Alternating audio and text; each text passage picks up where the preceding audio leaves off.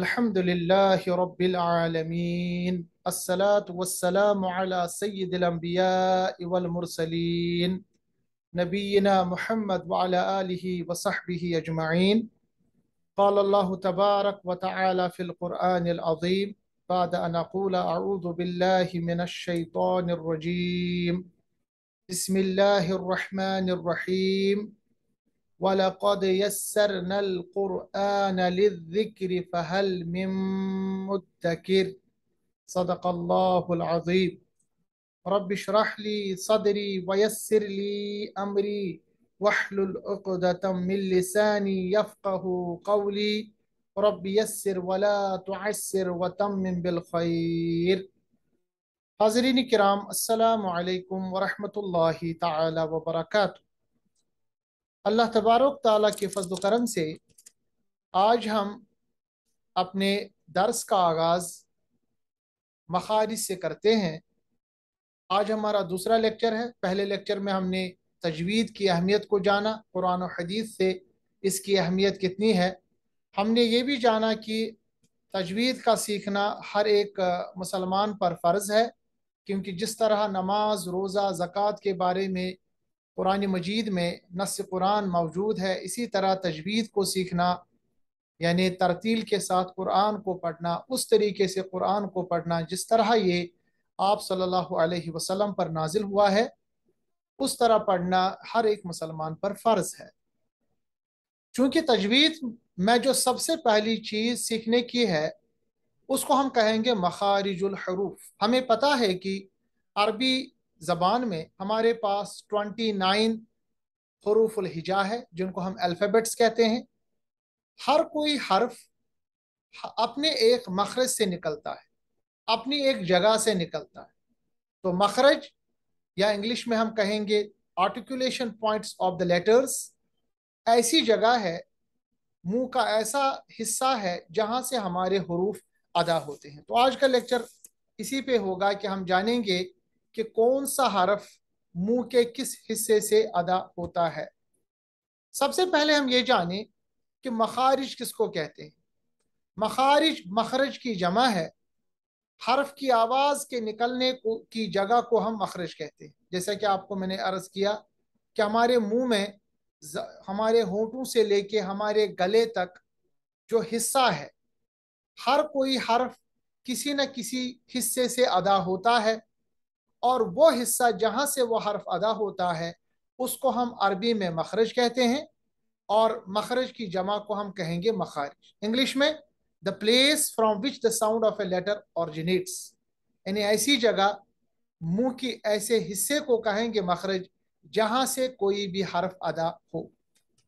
मखरज के साथ वह हर्फ अदा हो यह कैसे पता चलेगा? जैसा कि मैंने इससे पहले भी आपके सामने अर्ज़ किया था कि हमें जिस हर्फ का मखरज जानना हो, उस हर्फ से पहले हम हमजा के ऊपर ज़बर लगाएँगे, फिर उसके बाद देखेंगे कि वो हर्फ अदा हो रहा है या नहीं हो रहा। जैसा कि मिसाल के तौर पर जीम का हमें मखरज जानना है। इसका मखरज जानने से पहले हमने हमजा के ऊपर ज़बर रखा। जे आप अलिफ देख रहे हैं जिसके ऊपर ज़बर है। असल में अलिफ जो है वो खाली होता है।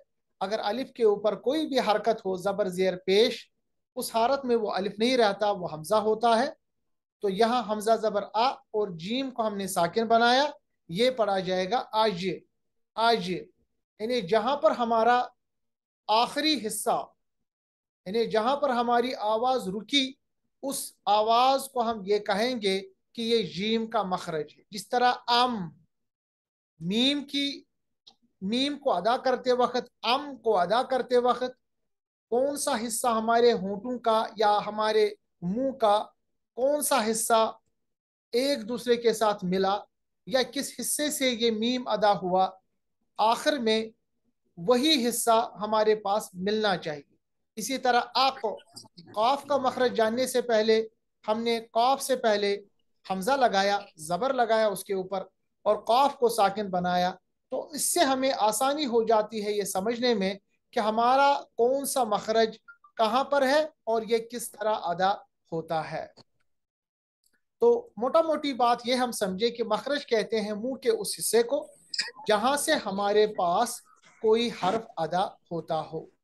इंग्लिश में the place of mouth from which a letter originates इसको हम कहेंगे अरबी में मखरज। अब इस चीज़ को हम जानेंगे कि हमारे जो, हमारा जो मुँह है इसमें हमारे पास पाँच किस्म के मखारिज यानी हमारे पास जो मुँह है, होंठ से लेके, होंठों से लेके हमारे गले तक, हमारे हलक तक, इसमें हमारे पास पाँच मखारिज यानी पाँच जगह हैं जहाँ से हमारे पास हरूफ अदा हो। सबसे पहला मखरज जो है, वो है अल हल्क हल्क उर्दू में कहते हैं गले को, इंग्लिश में थ्रोट तो सबसे पहले हमारे पास जो मखरज है, वो हमारा गला है, हमारा थ्रोट है। दूसरा है अल लिसान ज़ुबान और दांत। यानी ज़ुबान के मिलाने से या दांतों को जबान के साथ मिलाने से ये हमारे पास दूसरा मखरज बन जाता है। दूसरा ऐसा हिस्सा बन जाता है जहाँ से हमारे हरूफ अदा हो। तीसरा है अशफतान दो होंठ। आपस में ये जब दो होंठ हम मिलाते हैं किस तरह मिलाते हैं, कैसे मिलाते हैं, ये भी हमारा एक मखरज है तो ये तीसरा मखरज हो गया। चौथा मखरज जो हमारे मुँह में है, वो है अल जाउफ जाउफ कहते हैं, अरबी में, हमारे होंठों से लेके हमारे गले तक जो खाली हिस्सा होता है, यानी जब भी हम मुँह बंद करते हैं, मुँह बंद करने के बाद जो खाली हिस्सा हमारे मुँह में रहता है, हलक तक, इसको हम कहते हैं अरबी में अल जाउफ इस खाली हिस्से से भी हमारे पास कुछ हरूफ अदा होते हैं। तो जाउफ, ये चौथा मखरज है the empty space in the mouth और चौथा मखरज, पांचवा मखरज जो हमारे मुँह में है, जहाँ से हरूफ अदा होते हैं, वो है अल खशयूम अल खशयूम यानी जो हमारी नाक है ना, नाक के अंदर जो बांसा है, यानी खाली जगह है, इससे भी कुछ हरूफ अदा होते हैं, या सिंपली हम कहेंगे नोस तो अरबी में हमारे पास जितने भी हरूफ है ट्वेंटी नाइन जिनकी तादाद है, हर कोई हर्फ किसी न किसी से, जगह से अदा होता है मुँह के। और हमने ये जाना, हमने ब्रॉडली उन मखारिज को पाँच हिस्सों में तकसीम कर रखा है। अगर कोई हर्फ हमारे हलक से अदा होता है, उसको हम हरूफ हल्की कहते हैं। ठीक है? यानी वो हलक से अदा होने वाला हर्फ, क्योंकि ये पहला मखरज है। दूसरा हमारा वो, हमारे वो हरूफ जो हमारी ज़ुबान से अदा होते हैं। ठीक है? हमारी जबान से अदा होने वाले हरूफ, दांतों से अदा होने वाले हरूफ, इनको हम हरूफ वस्ती कहते हैं, हरूफ वसती। उसके बाद हमारे वो हरूफ जो होंठों से अदा हो, उनको हम कहते हैं हरूफ शुफ्ती, क्योंकि शफ्त या शफतान ये हम होंठों को कहते हैं। हरूफ शुफ्ती वो हरूफ जो आ, हमारे पास होंठों से अदा हो। पांचवा मखरज चौथा मखरज जाऊफ खाली हिस्सा और पांचवा मखरज है खशयूम।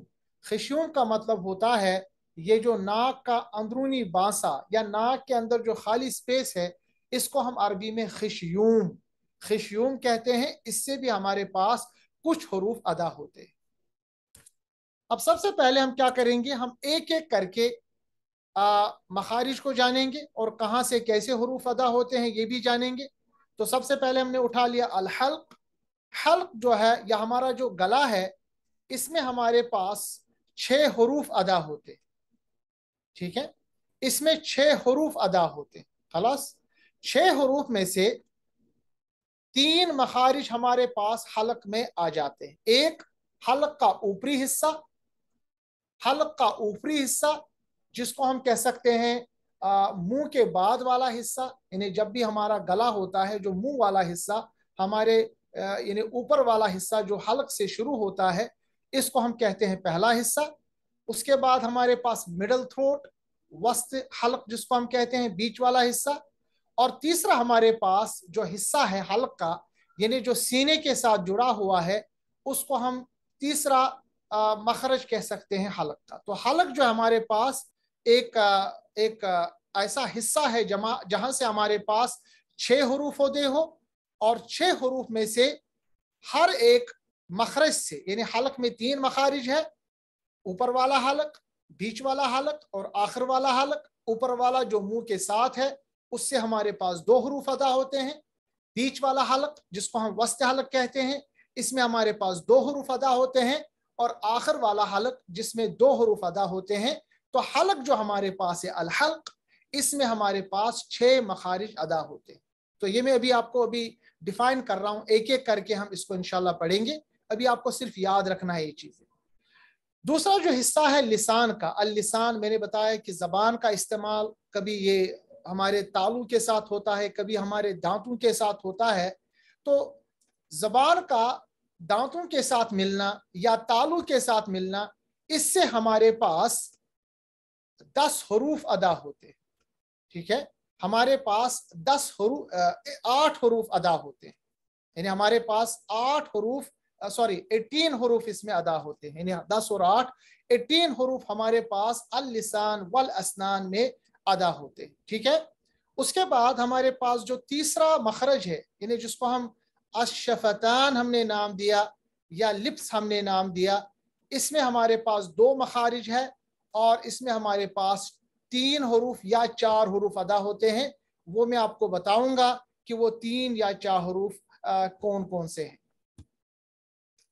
इसके बाद हमारे पास चौथा जो मखरज है, जिसको हमने अलजाउफ नाम दिया, इसमें सिर्फ़ एक ही मखरज है और इसमें हमारे पास तीन हरूफ अदा होते हैं जो लंबे हरूफ है। इसके बारे में भी हम बात करेंगे। और आखिर में हमारे पास जो नोज़ वाला हिस्सा है, इन्हें अंदरून हिस्सा जिसको अलखशयूम कहते हैं, और ये असल में इसमें भी हमारे पास एक मखरज है और इस मखरज में एक स्पेशल कंडीशन में हर्फ अदा होता है, जिसको हम गुन्ना कहते हैं। ठीक है? इसको हम इनशाला साथ साथ में पढ़ेंगे। अच्छा बीच बीच में आप क्वेश्चंस पूछ रहे हैं मैं इनशाला इनको आपको रिस्पॉन्ड करूँगा। जब हम आज का लेक्चर खत्म करेंगे आपको सवाल का मौका दिया जाएगा। तो अब हम धीरे धीरे करके इनशालास्तान एक एक करके मखरज को देखेंगे क्योंकि हमने जाना पाँच मखारिज है जिसमें हमारे पास उनतीस हरूफ अदा होते हैं। ये वो पाँच मखारिज है जिनके बारे में हमने पढ़ा। सबसे पहले हमने पढ़ा हमारे पास है अल हलक ठीक है गला दूसरा है हमारे पास अल लिसान यानी ज़ुबान, बल्कि ज़ुबान के साथ साथ असनान भी याद रखिएगा। सिन हमारे जो दांत है, वो भी अदा होते हैं। ज़ुबान और दांतों के मिलाप से हमारे पास ज़्यादातर हरूफ अदा होते हैं। एटीन जिनकी तादाद है। अशफतान हमारे होंठ, जिनसे हमारे पास तीन या चार मखारिज उसकी भी वजह बताऊँगा, ये तीन या चार क्यों है? उसके बाद हमारे पास जो मुँह का खाली हिस्सा है जिसको हमने दिया नाम अल जाउफ यानी जो खाली हिस्सा, और चार, पांचवा हिस्सा हमारे पास, ये जो हमारी जो नाक है, इसके अंदर जो नाक का बांसा है, खाली स्पेस है, इसको हम अरबी में अल खशयूम कहते हैं। ये हमारे पास पाँच ऐसे मखारिज है, जहाँ से हमारे पास ट्वेंटी नाइन हरूफ अदा होते हैं। देखिए मैं आपको बताऊँ, मैंने आपको पिछले लेक्चर में भी बताया कि उर्दू के जो अल्फाज है या उर्दू के जो हरूफ तहजी है अरबी में भी वही है थोड़ा सा अरबी से उर्दू से अरबी में थोड़ा कम है।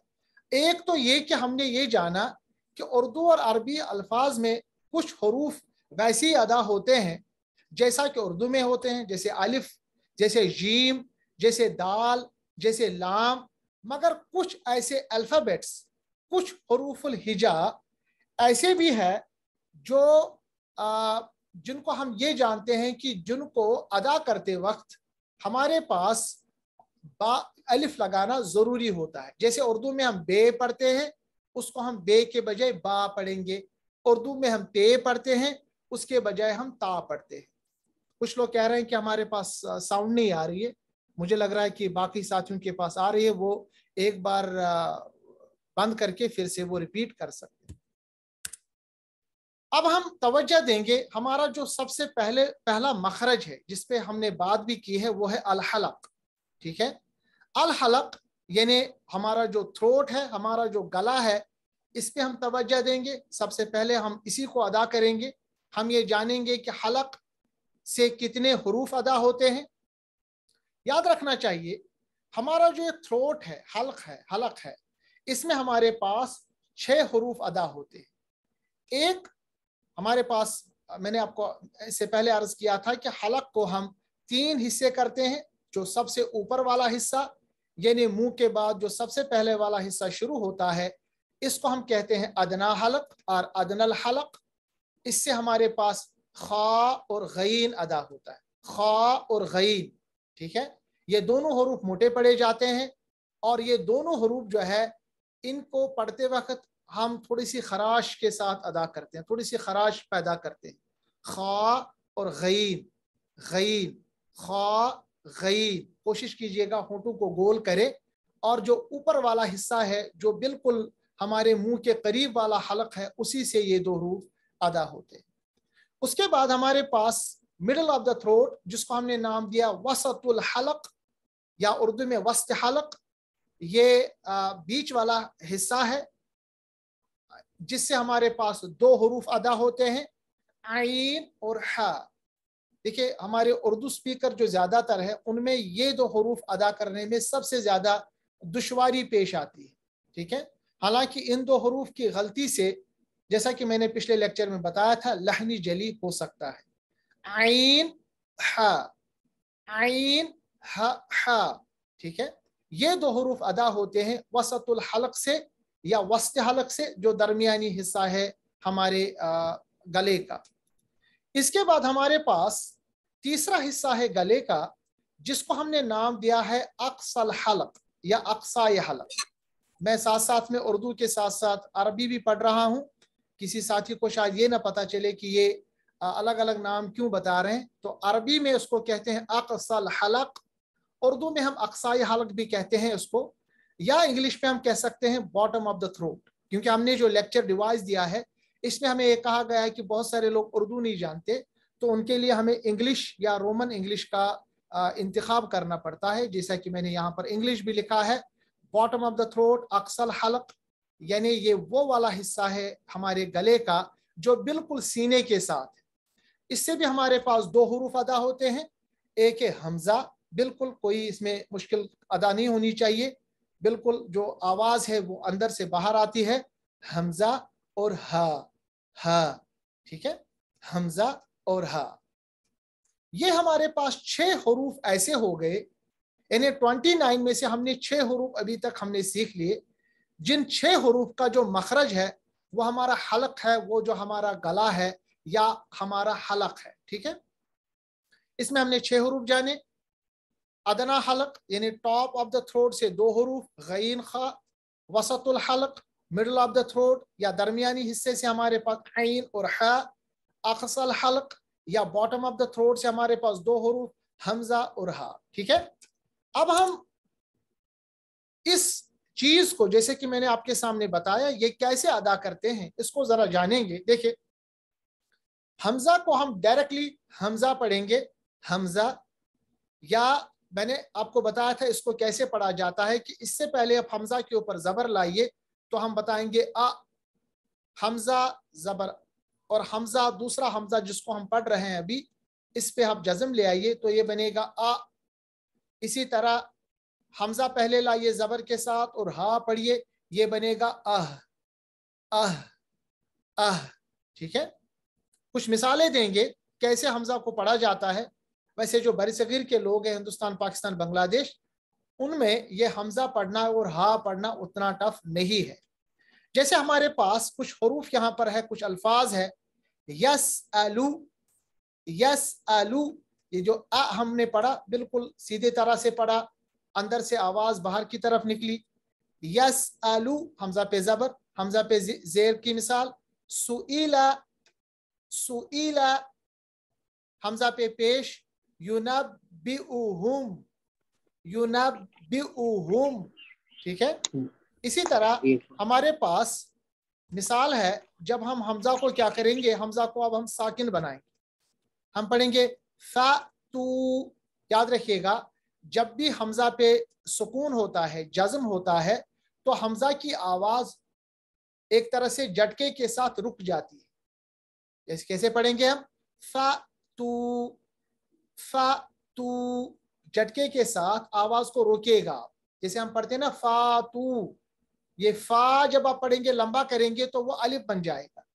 हमजा को पढ़ेंगे, हम पढ़ेंगे फा, तू फा, तू, झटके के साथ आवाज़ रोकेगा, उसके बाद पढ़ेंगे इसी तरह, बी, समा बी, समा, इसी तरह, यू, मीनूना, यू, थोड़ा सा झटका दीजिए, यू मीनूना, ठीक है? और ये तो हमारे पास हमजा की मिसाल। अब हम गोल हा भी इसको हम कहते हैं, हा को पढ़ेंगे, जो हमारे पास अक्सल हलक से अदा होता है बॉटम ऑफ़ द थ्रोट से अदा होता है।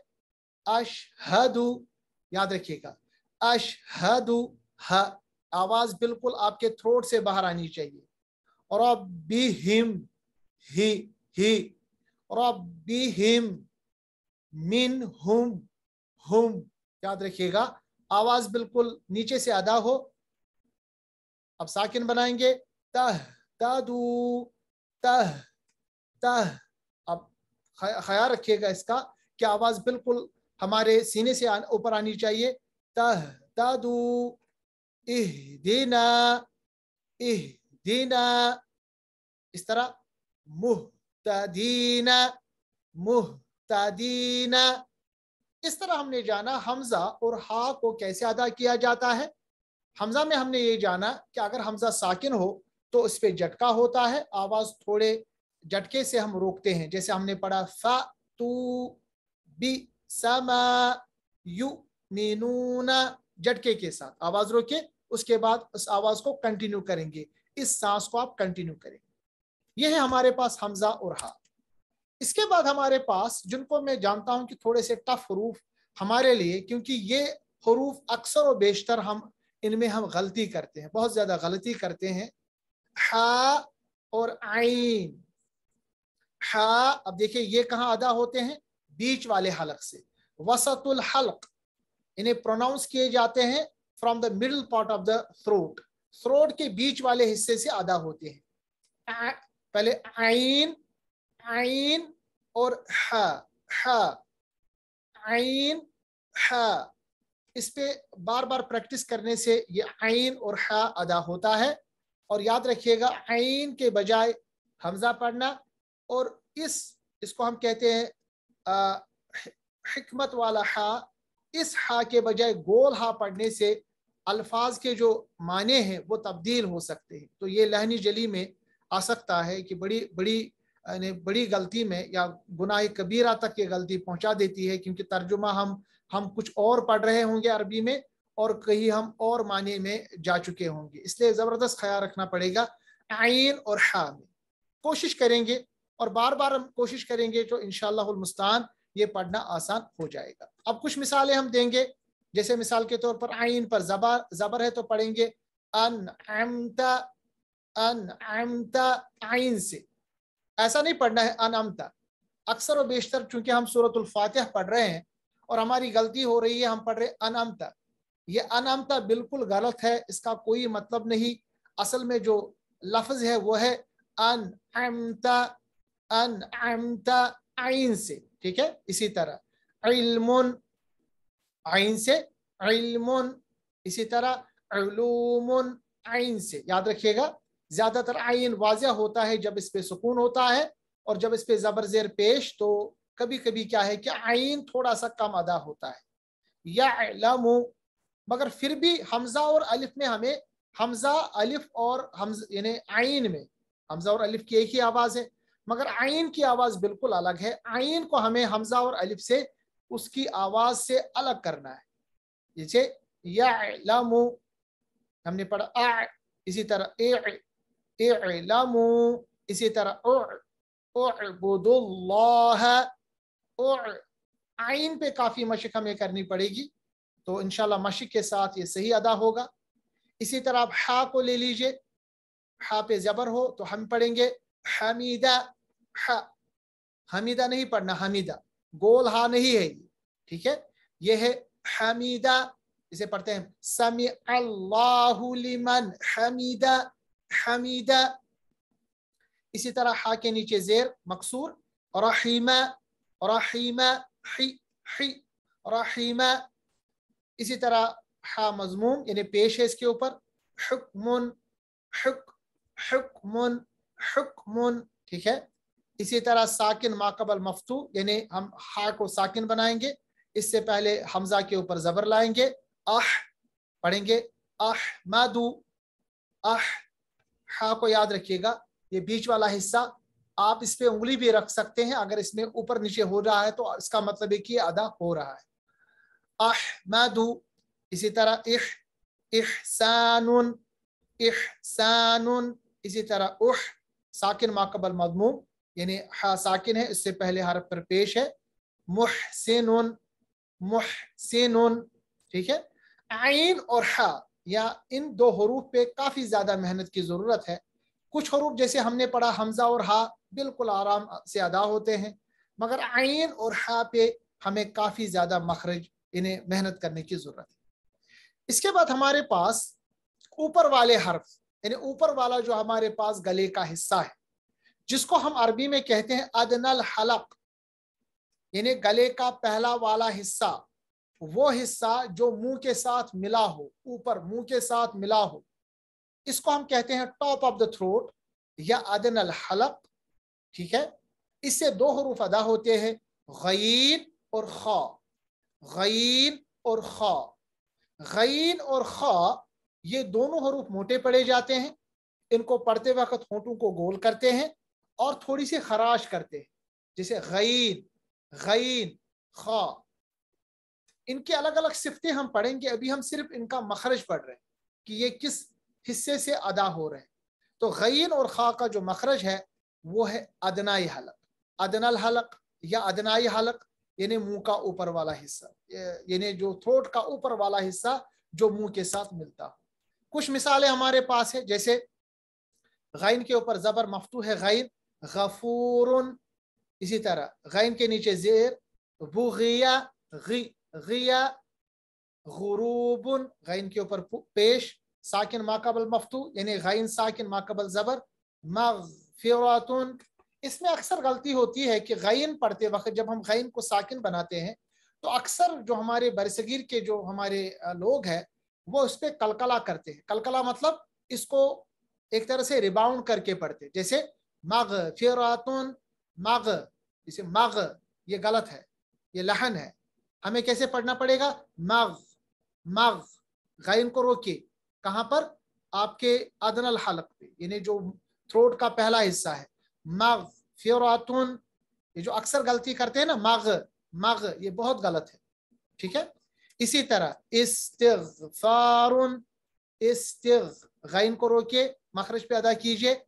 इसी तरह तो यानन तो तो गैन को रोकिए।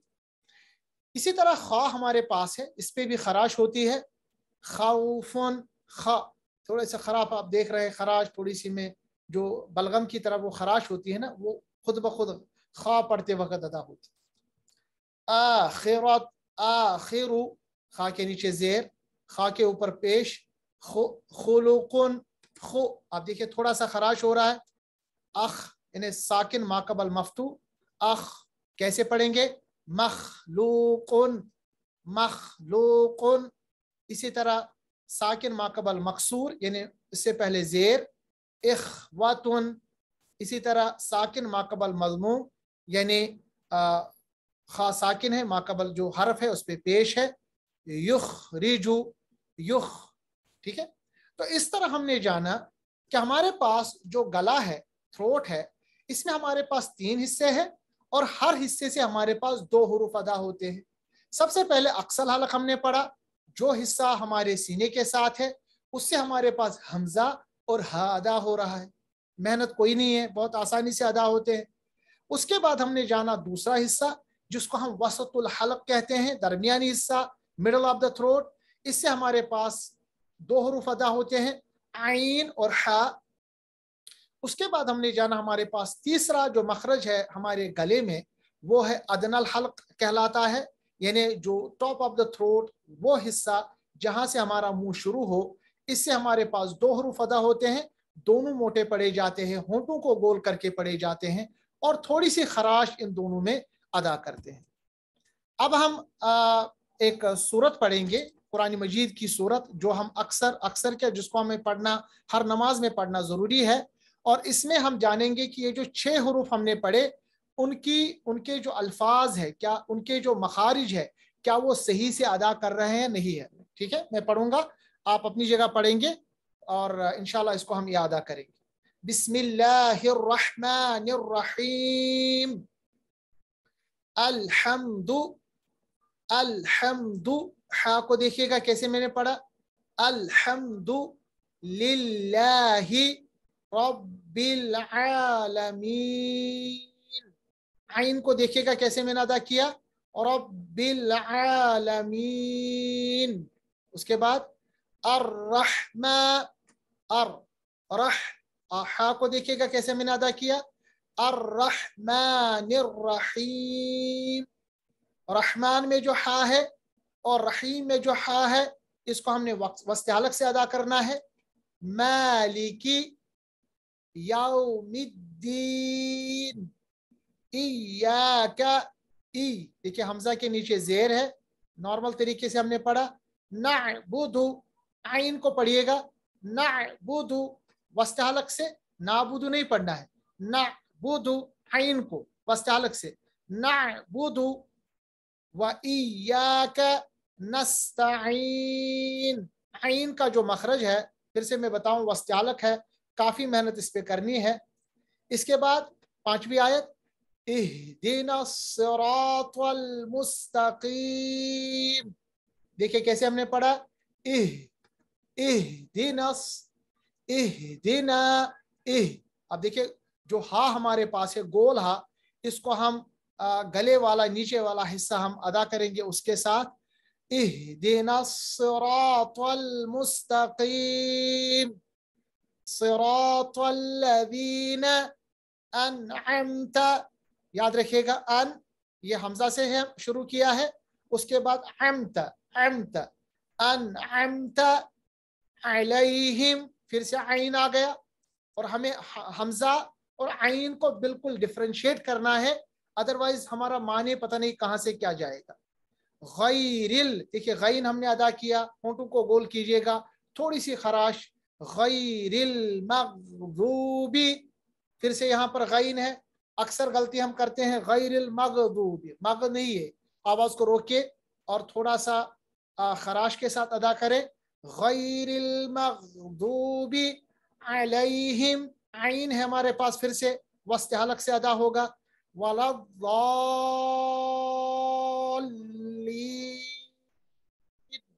आमीन। तो इस तरह हमने आज सूरत फातह की तिलावत की। इसको आप दोहराइएगा। किसी अच्छे कारी को, जिसको आप फॉलो करते हैं, कारी अब्दुल बासित हो, या कारी सुदैस हो, या बहुत सारे और भी कुरा है, मसारी अलफसी है, या और भी हमारे पास बहुत सारे उलमा है, किसी की करत को आप फॉलो करें खसूस कारी अब्दुल बासित, क्योंकि उनकी जो करत होती है वो तरतील के साथ है। उसके बाद वो सामने लगा के, ये जो अलहमद है वालीन तक इसको आप रिपीट कीजिएगा चार बार, पाँच बार। आपको अभी मेहनत करनी है। दो हरूफ पे, एक तो है हा बड़ी हा, हिकमत वाली हा और आइन जो वस्त हलक से अदा होते हैं। बाकी गैर और खा पे थोड़ी सी खराश, मोटे अदा करने और हमजा और हा बिल्कुल सांस के साथ ही अदा होते हैं। तो आज का लेक्चर हम यही हम एंड करेंगे। अगर किसी साथी को कोई सवाल हो तो आप तीन मिनट में वो सवाल पूछ के आज का लेक्चर हम इंशाल्लाह एंड करेंगे। आ, शायद किसी ने सवाल पूछा था ये हलक है या हलक है? मैंने पहले अदा किया अर्ज़ किया। असल में अरबी में उसको हलक कहते हैं मगर उर्दू में हम उसको हल्क भी कहते हैं। तो जब मैं आपके सामने पढ़ता हूँ तो मैं उर्दू इंग्लिश और अरबिक तीनों में कोशिश करता हूँ कि इसको आपके सामने बयान करूँ ताकि ये क्लियर हो जाए। और इसी तरह खशूम या खशूम है ये? ये खशूम है या खशूम है? देखिए, मैंने आपको बताया असल में अरबी में ये है खशूम मगर हम उर्दू में हम इसको खशूम भी पढ़ते हैं, क्योंकि उर्दू और अरबी पढ़ने में हमारे पास अल्फाज का थोड़ा सा तयन ऊपर नीचे हो जाता है। हमारे इस कोर्स में हम ये कोशिश करते हैं कि हमारे पास तीन जबानों का इस्तेमाल हो। अरबी में तो खैर आप पढ़ ही रहे हैं, और दूसरा इसके साथ उर्दू और इसके साथ साथ हमारे पास इंग्लिश भी आ जाए। ताकि जितने भी हमारे साथी हैं, वो सब एक साथ इसको अच्छी तरह से कंप्रहेंड करे, समझे, सोचे, क्योंकि हमने ये कोर्स जो है, ये एडवांस लेवल लोगों के लिए नहीं बनाया, जो ऑलरेडी जानते हो। खसूस जो तजवीज़ का हमने कोर्स डेवलप किया है यह ऐसे डेवलप किया है कि जो अभी कुछ भी ना जानते हो तजवीज़ का, मगर कुरान को सही पढ़ना, समझना और उस पर अमल करना वो चाहते हो तो उसको, उसके लिए सबसे पहले ये ज़रूरी कि उनको तजवीज़ बहुत ही बेसिक से पढ़ाया जाए, ताकि उनकी ज़बान से वो समझ में आ जाए। तो इस तरह हम आज का लेक्चर एंड करते हैं। अल्लाह तबारक ताली से दुआ है कि अल्लाह तबारक ताली हमारा यहाँ पर जमा होना कबूल फरमाए और इसमें जो हमारे लिए खैर है वो अता करें और जो गलतियाँ इसमें हुई है मुझसे या शैतान की तरफ़ से अल्लाह ताला उस पर माफ़ करे, दरगुजर करे। व आखिर दावाना अनिलहमदिल्ला रबालमीन